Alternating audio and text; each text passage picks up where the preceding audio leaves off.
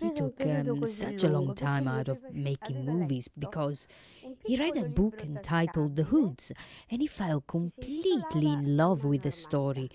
He wanted to make a movie, but he couldn't get the rights for it.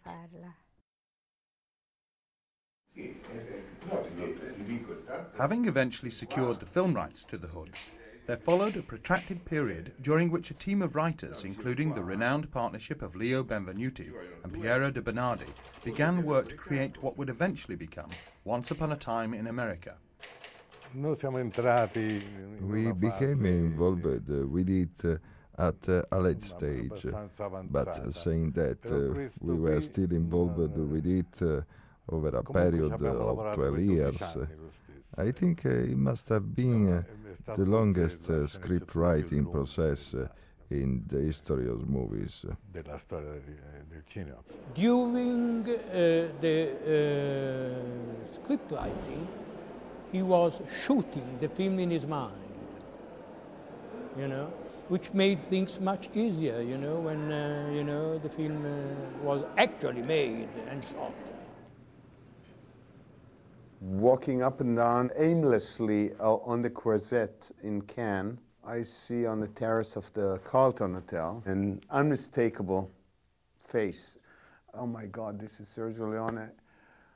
Now, I did not know at that time that he was sitting on that terrace for 11 years waiting for a guy to walk over, introduce himself, and say, May I write a check and finance your movie and produce it?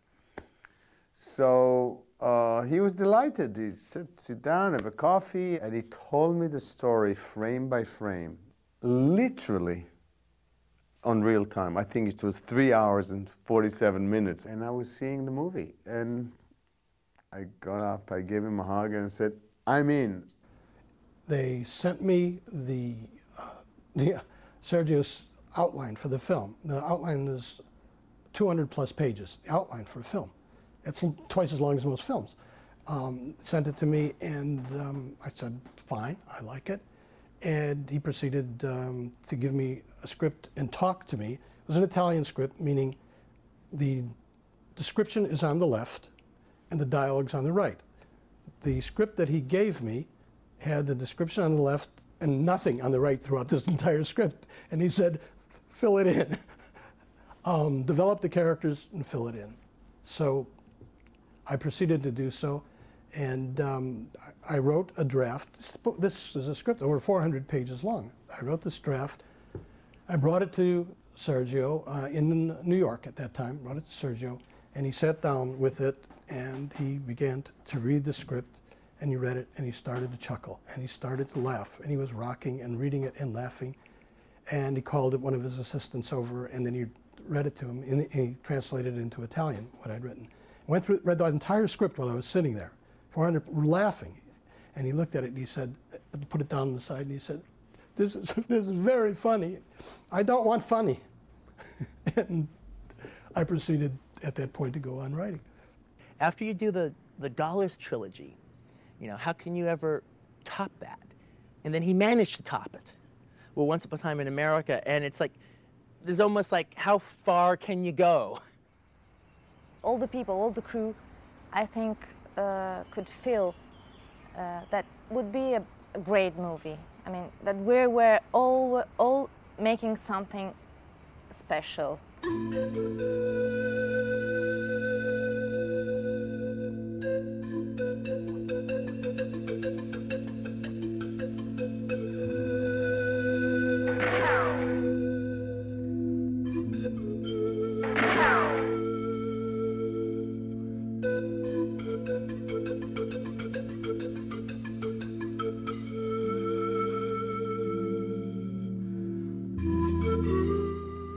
Was um, very powerful, very um, in charge. I mean, you knew that this man was in charge of this movie and in charge of every single detail that was going to happen.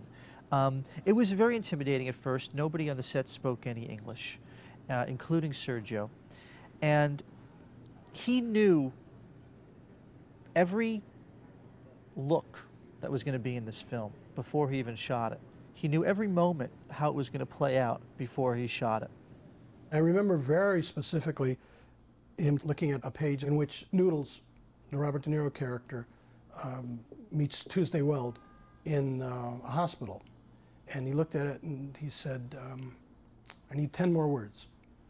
And he pointed to a line, Tuesday Weld line. And I said, it's okay, isn't it okay the way it is? He said, it's fine, I need 10 more words. And I said, why? And he said, she's going to walk from here to there, and I want her to talk all the way there. He already knew what the set was going to look like. He knew how far she would walk. He knew where the camera was going to be before the, a set had been built, before anything had been done. And he need, knew he needed 10 more words to get Tuesday Weld across the room. He had the vision, knew exactly what he wanted. He would get it every time. And yet he wasn't against being shown something completely different that we might come up with as actors, you know. So uh, he had the best of both worlds going from, as far as I'm concerned, you know, an extraordinary vision, the temperament and discipline and talent to bring it to fruition, and the kind of flexible ego that would allow input from people that would make things even better than he had imagined them if that were possible. And quite frankly, it very often was not possible to make it better than he envisioned. He would demonstrate physically absolutely everything. He was an actor. This man was an actor, and he could act once upon a time in America from start to finish, three hours and 45 minutes, play all the different parts and be convincing. That's how brilliant he was. He even had explained and talked to Ennio Morricone about the music so much in advance that two thirds of the music was recorded, not full orchestra, and playing on the set while we were. It was like amazing. You go on the set and the music is playing already. It was magic. Once we were doing a scene where Bobby gets out of prison and, and I'm supposed to meet him, and Sergio's on this big crane. Um, we're down in the Bedford Stuyvesant, or the Williamsburg section of, of Brooklyn. We're on the street, and Sergio says, Oh, it's going to rain. So he's sitting on the crane waiting so because he was a big wide shot of the street, and as we come together, the crane comes down and comes right into the two of us. And, and Sergio wanted to start raining in the middle of the shot, so he was like trying to time the shot, you know, like I mean they couldn't get rain machines in because the shot was so wide to begin with.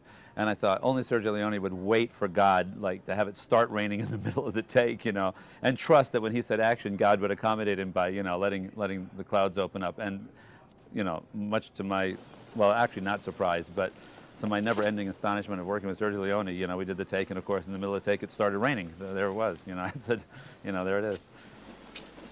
How are you, Uncle? You're looking good.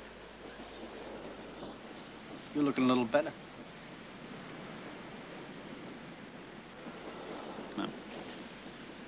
Get you off the streets. Everyone has uh, had a big uh, consideration of him, but not only as a director, as a man. I love the thing that he used to spend his nights, I mean, his dinner uh, with everyone. Uh, not, it wasn't a star, never. So we spent nights cooking in, in the hotel where we were staying with the technical or De Niro or whatever. I mean, it was the same thing. People he loved people he liked to, to stay with.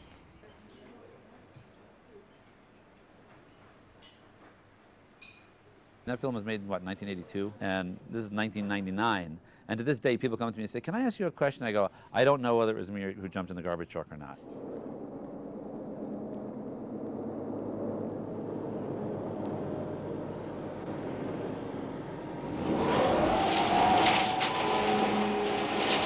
And Sergio's answer was, you know, it could be you, it could not be you. And in fact, for that actual shot, we used a photo double, even though I was on the set, because Sergio wanted to be a little confusing whether it was me or not. And he said, it's like Jimmy Hoffa. We know, but we don't know, but we know, you know.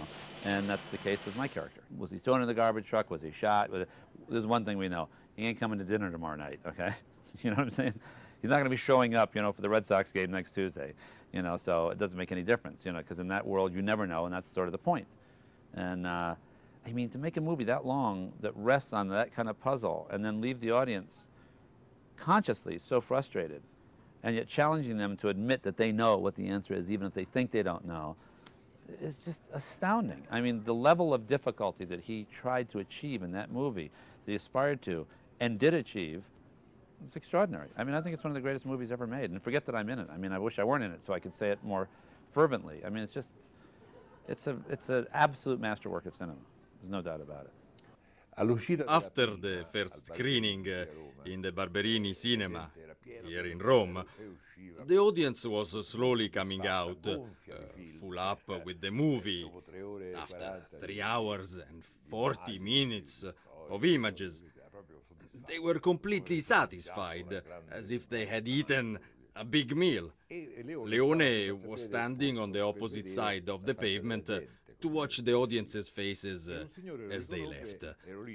A man recognized him. I was there.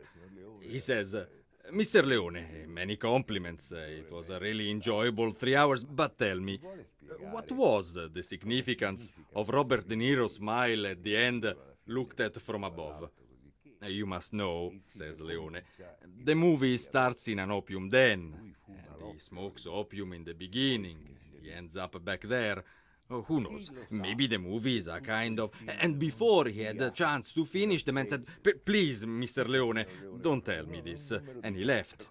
Because uh, he didn't want to know that maybe, just maybe, the story of the film uh, was a big nightmare or a dream under opium. A few weeks before it came out, they decided to use the assistant editor of Police Academy or something, you know, to chop it all up and tell it in linear fashion, which is the whole point of how the story was made, was that it's not in linear fashion. I mean, it was the telling of the story that made it such an extraordinary film. And I remember it was a huge disappointment to me and so on, and Sergio had been so great, and, you know, when we were at the Cannes Film Festival, where it had its world premiere, you know, the reviews and the response was so astounding. I remember one article that said, headline said, you know, filmmakers cast your films into the sea. Leone is here with Once Upon, you know, it's like, because it was like that. I mean, it just got this 15 minute standing ovation and then was butchered, and I thought it must have broken his heart. Today, what I would have done, I would have opened it in a couple of theaters, start word of mouth going. I was really truly naive. I did not know a lot of things. There are three versions released in the United States that I know of, and then there's a much longer version, which is the definitive version that's never been shown in the United States. Uh, the first two versions, which were the initially released ones, which got very, very bad reviews, were not only shortened, but the time sequence was changed. The film is a series of flashbacks to two different per periods, plus the present, which is 1968 in the film. Uh, and by going back and trying to arrange it chronologically, which is what, what happened when the film was released initially, it doesn't make any sense. Imagine how horribly unorganized the release was to a point that they forgot to enter, forgot to enter Ennio Morricone's music to register. Or Ennio would have gotten Academy Award for sure. It's probably the best score in the history of, of the movie business, by far. Sheila Benson at the time voted it the worst movie of the year, and then eight years later voted it the best movie of the decade, which, which I thought was really interesting. The best movie being Sergio's own cut, the worst movie being, of course, the cut that the studio released. The last time I saw Serge was in Paris. Actually, was uh, we had we had lunch at I don't know someplace, and uh, he was telling me about uh, how they how they had ruined his Once Upon a Time in America. How they made him cut a lot out, you know, he had cut the time out, and you know, and really, you know, really. And he was really sad about that. You know, he said, "I spent a lot of time in making a nice movie, and they take, take all the essence, essence out. And uh, I said, well, you can put it back in, man. put it back in. The intensity of the production schedule on Once Upon a Time in America took a severe toll on Leone's health, and he was diagnosed with a severe heart disease. The only alternative was a transplant. He knew it, and uh, he would have never accepted that he was just starting a new movie, and um, that would have given him big problems.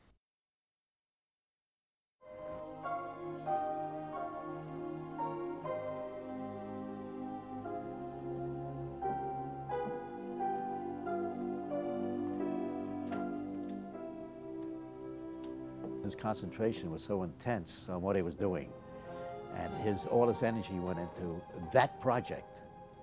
As he said, I lose five years of my life on every picture, and I saw it happening. I mean, him putting an hour in is like most directors putting four hours in.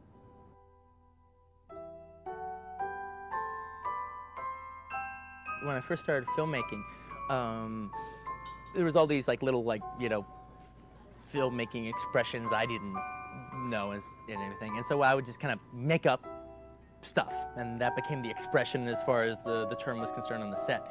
And the biggest one was uh, I always knew how you how to say an extreme close-up, but again, I always like I'm thinking in terms of, of in terms of uh, the, the the effect I want, and so I'd say I want a Sergio Leone. Okay, so give me a Sergio Leone here, and when I'm saying Sergio Leone, that's more important than saying an extreme close-up because anybody can give you an extreme close-up. When I say give me a Sergio Leone, I'm implying the feel I want of it. It's just not an extreme close-up. It's not just a frame.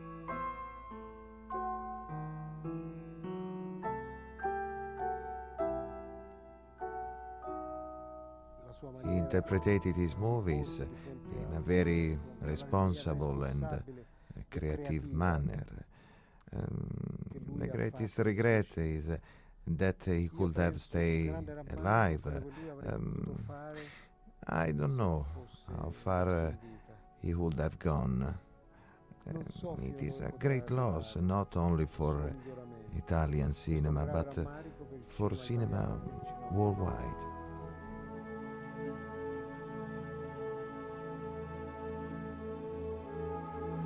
You know, on my deathbed, you know, and somebody says, you know, what was the greatest artistic experience you ever had? It was working with Sergio Leone. There's no doubt about it. It was the Everest of my life, you know. And I never got a chance to tell him that because I was too young or confused or too shy to call him up and sort of say it, you know, and so on. And one of the reasons I wanted to do this interview is to sort of say it so somebody in the world could hear it.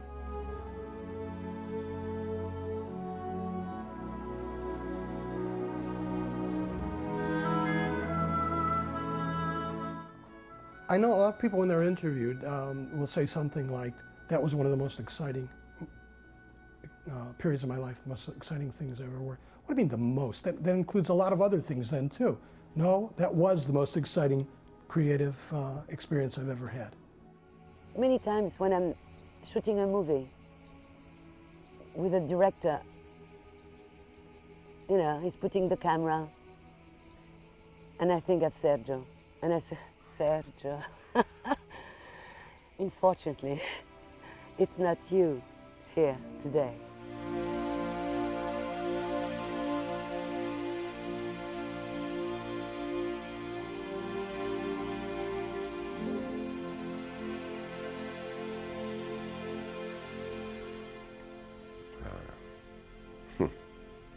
I wish you were still around.